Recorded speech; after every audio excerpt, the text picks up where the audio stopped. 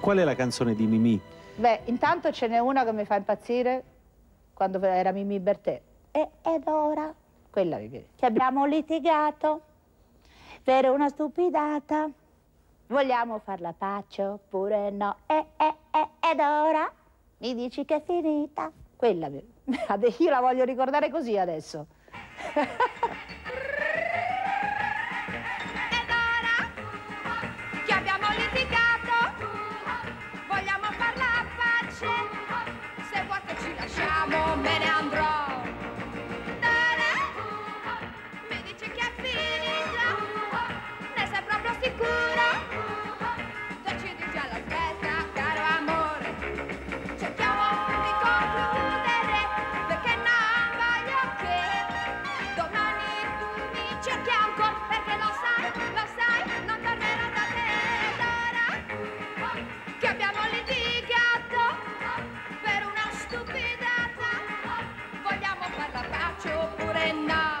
Poi un giorno hai scritto una canzone dedicata a Mia Martini, che era una canzone per te importante.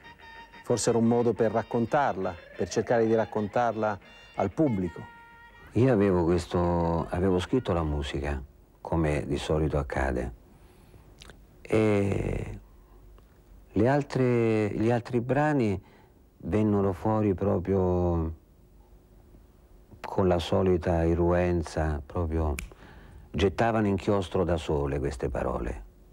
Quando mm, affrontai questo, questo brano, che era la grande assente, eh, dovevo mettere le parole su sto, su sto brano, dico ma... Allora mi missi la cuffia e, e, e ascoltavo questa cosa qui. E mentre ascoltavo, proprio senza accorgermene, la mano, perché io scrivo col computer, ma quando, quando devo trattare determinati argomenti io uso la penna e il foglio di carta. E così fu, io presi la penna e queste parole mi venivano giù così. Alla fine il testo era pronto. Allora andai giù nello studio, registrai sulla base, sul provino, la voce, poi chiamai Olivia, la sorella di Loredana e di Mimì, e chiamai Alba Calia, questa nostra amica comune, e poi chiamai anche Loredana e gli dissi, io ho scritto questa cosa, mi piacerebbe metterla nel disco, però prima di farlo volevo conoscere il vostro parere in merito a questo. E misi questa canzone e naturalmente... Parecchi, non ce n'è uno in particolare, cioè era, era è una mancanza di stelle quotidiane. Forse il nostro compleanno mai festeggiato, perché i nostri genitori, purtroppo, essendo due statali, prendevano lo stipendio il 27. E noi, facendo il compleanno tutte e due il 20 settembre, non c'era una lira in casa. Ma nemmeno la voglia di dirci, scusate, è così la situazione, buon compleanno. Quindi non esisteva, erano cancellati. Tutti i compleanni, negati, cancellati, non esistevano. E crescere così, bah, mi sembra... Alla fine io e Mimì eravamo talmente abituate, dicevo, Mimì, buon compleanno. Io gli davo un pasticcino, mettevo su una candelina, me ne mangiavo un altro io. Buon compleanno Mimì, buon compleanno. Ciao. Dopo l'amore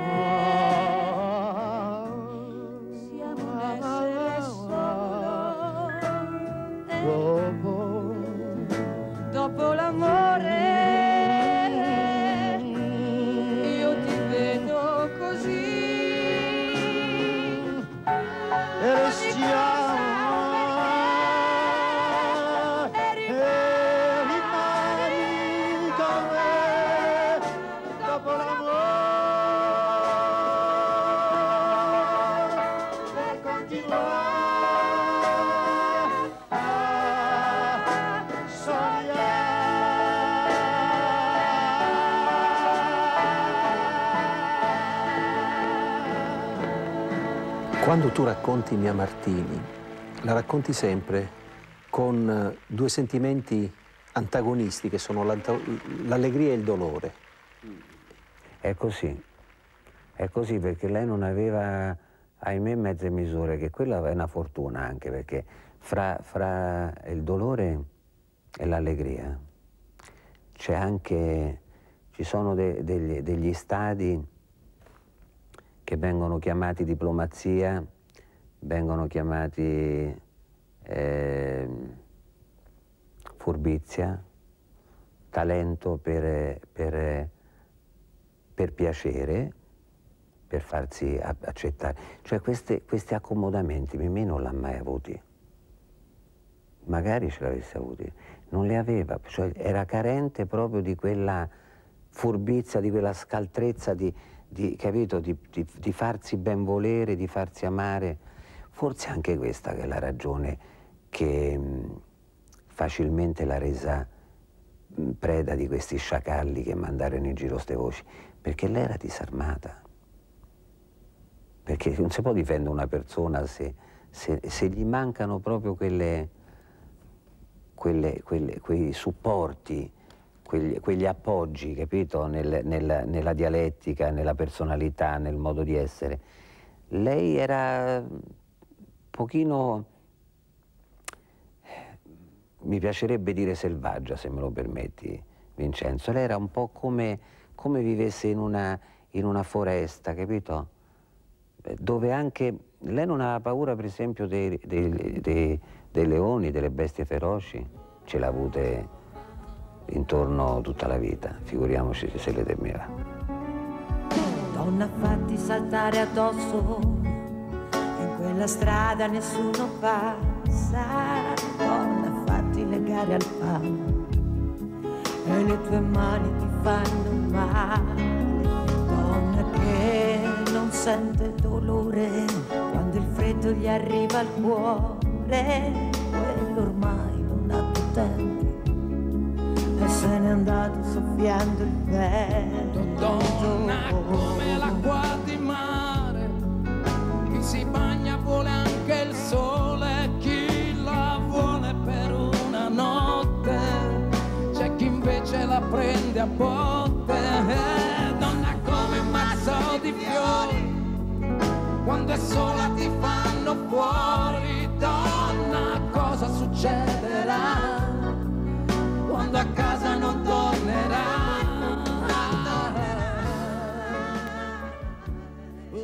Quello che amava eh, maggiormente Mimì non era tanto il brano, quanto il, il, il padre del brano.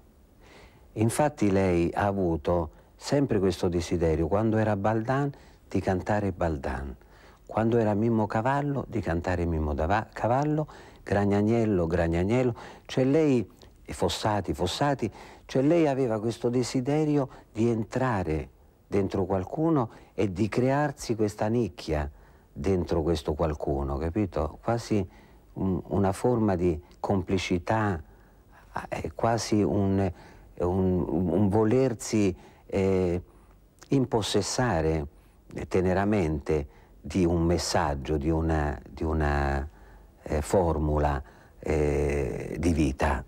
Quindi tutti questi passaggi di Mimì attraverso eh, queste partiture musicali hanno tutte questa caratteristica, periodi della sua vita nei quali lei è riuscita a familiarizzare con l'autore e con il compositore, eh, finendo per, per creare un, un sodalizio talmente affascinante, talmente credibile, che poi, insomma, l'ultimo fu Maurizio Fabrizio, se lei avesse continuato a, a essere qui, sicuramente Maurizio gli avrebbe fornito ancora spunti meravigliosi per, per esprimersi. Tutto il periodo di Claudio, per esempio, Di Claudio quando- Baglioni. quando lavorò con Claudio, che fu un altro suo compagno di viaggio molto importante, perché mi ricordo che fece Mimì Gesù è mio fratello e le lacrime di marzo, che è un pezzo che annuncia proprio questa sua andata via, a distanza di tanti anni. Ascoltando quella canzone si ha proprio l'idea che lei il saluto la- l'avesse, fatto, l'avesse pronto già da molti anni prima. Avrei voluto a un certo punto fermarla, avuto, avessi avuto questo talento di...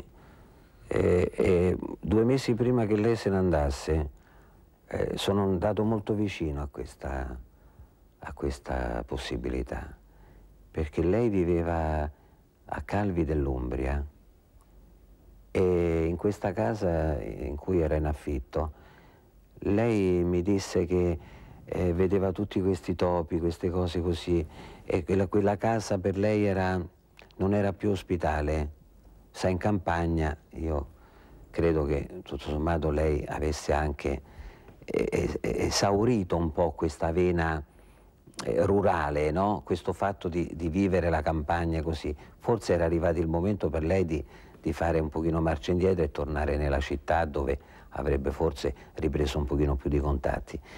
Io ero un po' impressionato da quella telefonata, la mandai a prendere da Giorgio, questo amico mio, e la portammo a casa da me. Appena giunse a casa lei si guardò un pochino intorno e disse eh, come si sta bene però quando c'è piatto di minestra pronto, quando ci sono le comodità. Io la pregai in ginocchio di non andare via. L'avrei tenuta a casa mia, ci avrebbe avuto la sua stanza, il suo bagno, le sue comodità, l'avrei portata dove desiderava, però lei mi disse no, io devo, devo sistemare le mie cose a Calvi, devo stare almeno due mesi a Calvi per raccogliere mie, i miei stracci, le mie, le mie appendici e poi possiamo riparlarne.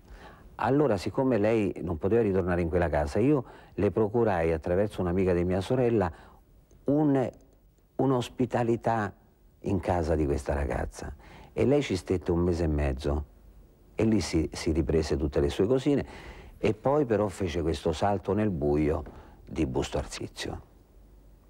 Andò a vivere lì e, e chiaramente poi è accaduto quello che è accaduto, però eh, io, quando se ne andò da casa mia io, io la guardai con una tenerezza, con, come fosse Charlie Chaplin. Ero commosso, ero... volevo fermarla, ma non, non, non, si vede che non doveva andare così, si vede che la doveva fermare lui.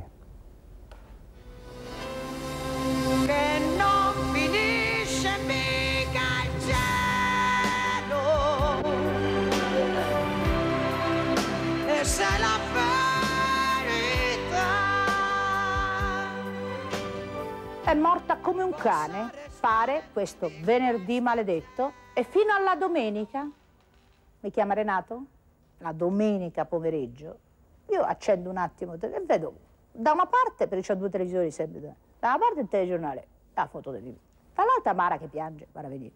E Renato al telefono, Renato, che c'è? Mettete seduta. Perché c'è? Perché Mara? Ma che... L'hai mai imitata nel canto? Non mi sono mai azzardata. Quello no, non ci ho mai provato. E Mimì bisognava annusarla per comprenderne la presenza. Una volta superato questo test, sarebbe stato impossibile confonderla, o peggio, non considerarla. Il suo migliore pregio? Riuscire a guardarsi dentro. Il suo peggior difetto? Quello di cercarsene uno a tutti i costi. Un vezzo? Grattarsi la testa come per stanare un'idea. Un pensiero fisso? Creare disordine per riordinare. Una strategia? Fingere di essere felice. Un legame indissolubile? Scialli, cappelli e guanti. Un bisogno? Riuscire a ridere di tutto. Le canzoni più ascoltate? Patapata, San José, Le Mantellate, Spanish Harlem. Le sue muse? Aretha Franklin, Johnny Mitchell, Sarah Vaughan, Billie Holiday e naturalmente Mimì, Renato e Loredana. Sotto il titolo La costruzione di un amore, eh, Ivano Fossati nel testo originale mi ha scritto per il condono edilizio presentare domanda. Io non credo che sia così complicato costruire un amore, basterebbe eliminare la tangente. Voglio un amore senza pizzo, ma con tanti merletti. o no?